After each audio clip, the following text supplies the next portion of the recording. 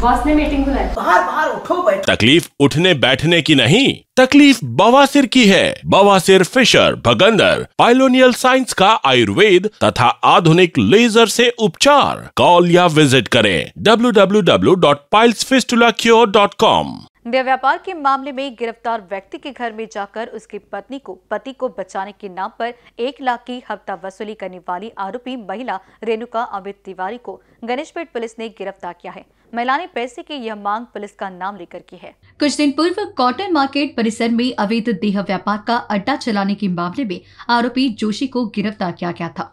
इस मामले को आरोपी रेणुका ने पेपर पे पढ़ा, जिसके बाद वह आरोपी से मिली और फिर उससे बातचीत कर, तुम्हें जेल से निकलने के लिए फैमिली से बात करने की बात कहकर पति का नंबर लिया। जिसके बाद आरोपी के घर पहुंचकर रेणुका ने आरोपी के पति से पुलिस से सेटिंग के नाम पर एक लाख दस हज़ार की मांग की, जिसके बाद आरोपी के पति ने वह दे दिए। मगर बाद में जब पति की बेल न होकर उसे जेल पास किया गया, तब पत्नी को समझ आया कि उसके साथ धोखाधड़ी हुई है, जिसके बाद उसने रेणुका के खिलाफ मामला दर्ज कर लिया। आमच्याकडे एकशे सदुसष्ट नंबरचा एक गुना दाखल आहे. पिठाच्या केसमध्ये अजय जोशी नावाच्या एका इस्माला शुक्रवारी अटक करण्यात आली. त्यानंतर शनिवारी त्याची रिमांड घेण्यात आली आणि तो आमच्याकडे तीन दिवस पोलीस कस्टडी आम्हाला मिळाली.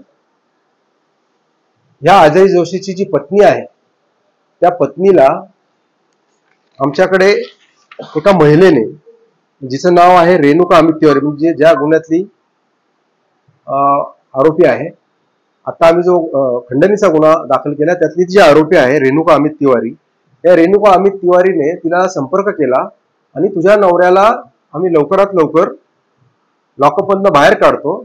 माझी एन जी ओ आहे माझी पोलिसांशी ओळख आहे मी असिस्टंट आहे वकिलाची आणि तिला लवकर बाहेर काढतो असं सांगून तिनं पोलिसांच्या नावाने तिला घाबरवून तुलाही अटक करतील तुला फरफडत घेऊन जातील केसाला धरून असं तिला भीती दाखवून तिच्याकडनं एक लाख दहा हजार रुपयाची खंडणी तिने वसूल केली.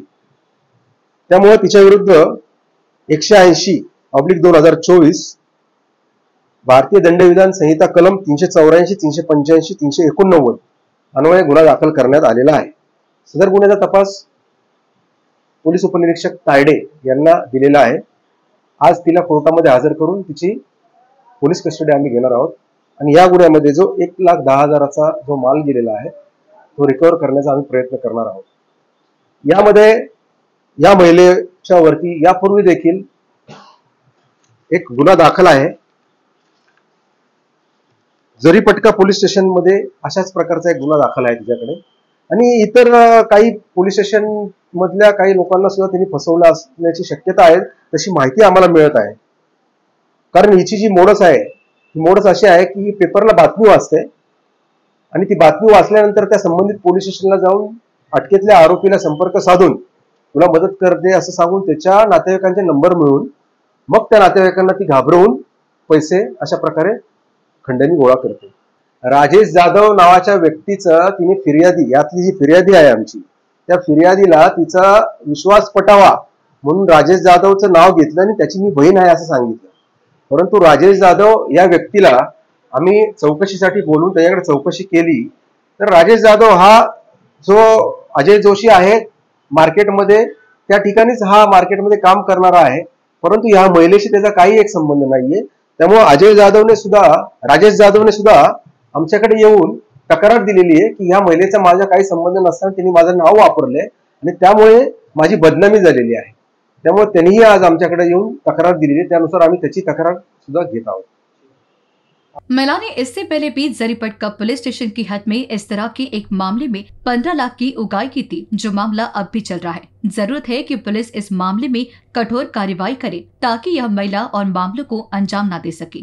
कैमरा पर्सन अखिलेश भारद्वाज के साथ प्रकाश शुंकलवार की रिपोर्ट।